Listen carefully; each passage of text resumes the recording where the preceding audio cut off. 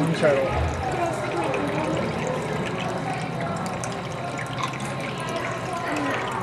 Oh, look at the box turtles approaching the water. He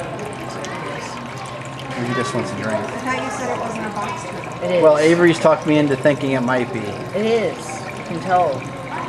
Its shell is more rounded. You see how that that uh, painted turtle right there has a shell that's Well. I thought it was like a box turtle too.